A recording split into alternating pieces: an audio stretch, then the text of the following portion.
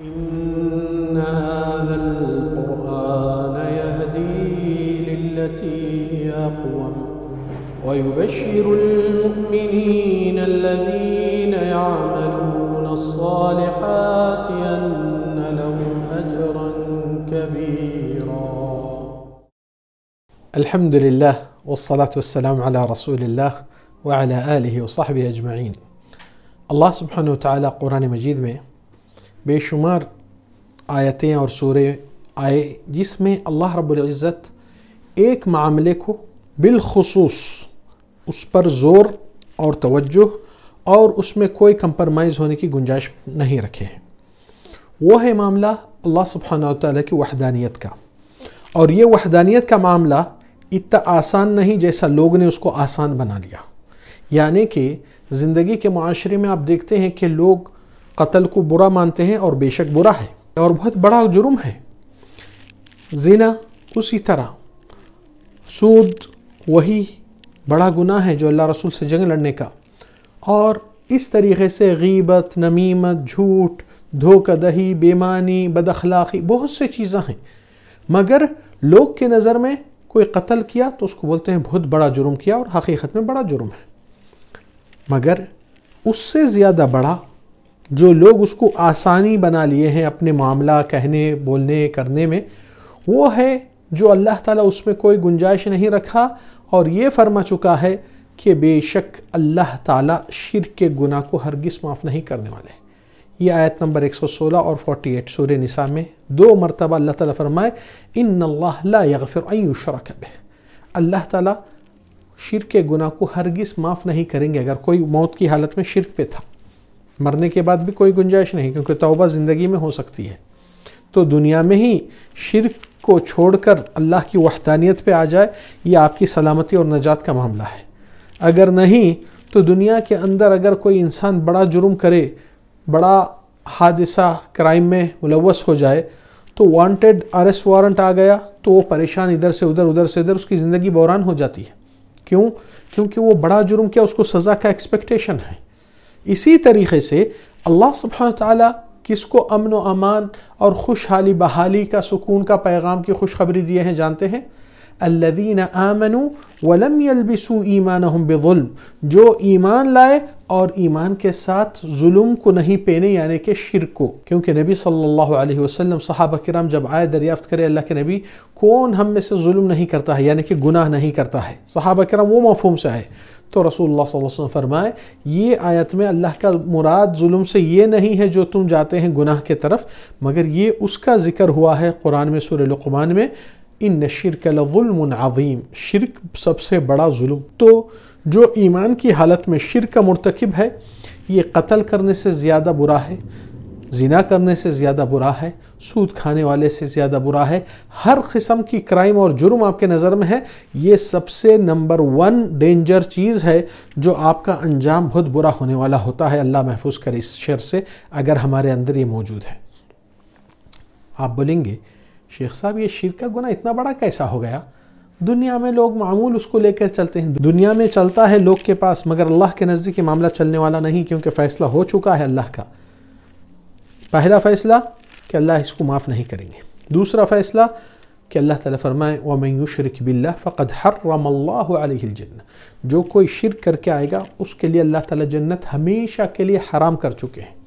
سورہ انعام میں آپ دیکھ سکتے ہیں، اللہ سبحانہ وتعالی اٹھارہ پیغمبروں کا نام لیے ایک، دو، تین آیتوں میں ایک سال لیے ہیں، ایک کے بعد ایک۔ اور اس کے آخر میں کیا فرمائے؟ وَلَوْ أَشْرَكُوا لَحَبِطَ عَنْهُمْ مَا كَانُوا يَعْمَلُونَ۔ اگر یہ لوگ شرک کے مرتکب ہو جائے، تو یہ سارے پیغمبروں کے نمازیں، روزے، عبادات، سب نیک کام ان کا برباد اور برخاست ہو جائے گا۔ کیوں؟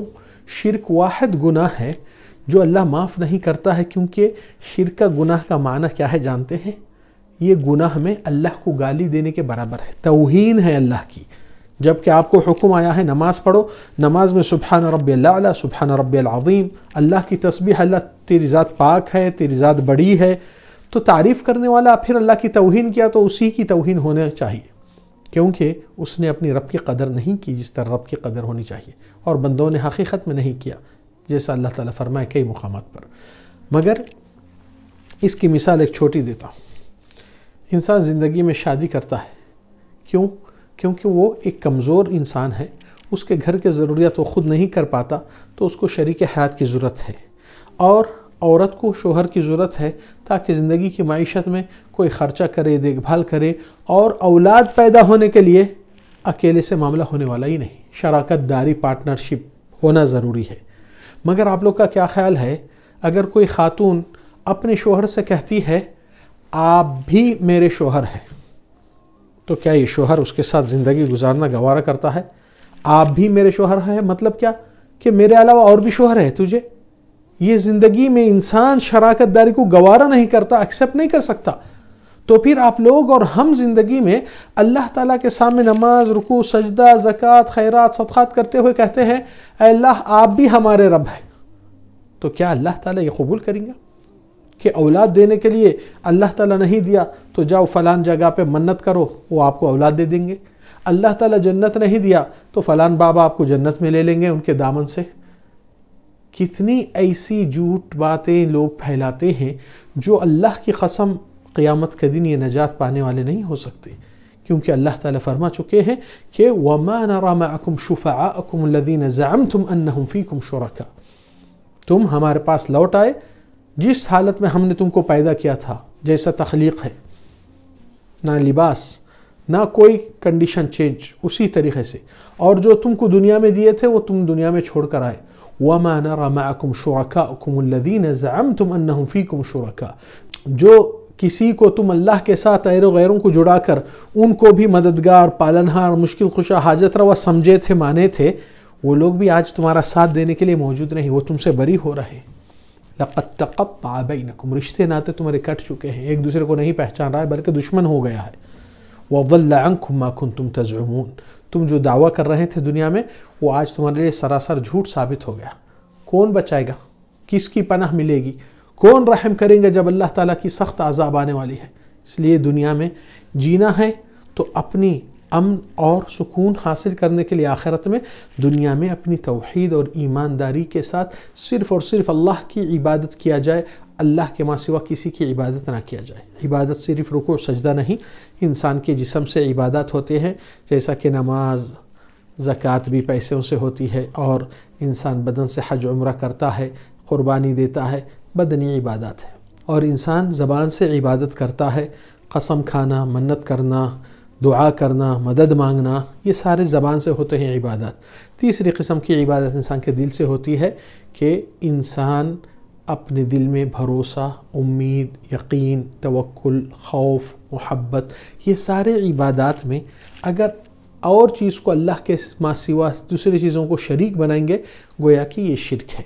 اور شرک میں ایمان والا کامیاب نہیں ہو سکتا اگر شرک کو لے کر آیا ہے، جبکہ یہ دونوں ایک دوسرے کے اپوزٹ چیزیں ہیں۔ اس لیے آپ کو اور ہم کو چاہیے کہ زندگی میں ہمارے رشتہ دار، دوست، احباب، جو اللہ تعالیٰ ان کے لیے فیصلہ رکھا ہے کہ جہنم میں ہمیشہ کے لیے جلیں گے، یہ لوگ امن و امان سے محفوظ نہیں قیامت کے دن اریسٹ ہو کر، پکڑ کر ڈالے جائیں گے، کوئی ان کو بچانے والا نہیں۔ آج آپ کی ہمدردی، شفقت، ان کو اصلاح کرنے میں، ان کو ایمان پہ لانے میں، ان کو شرک سے بچانے میں، یہ بہت کام آنے والی ہے۔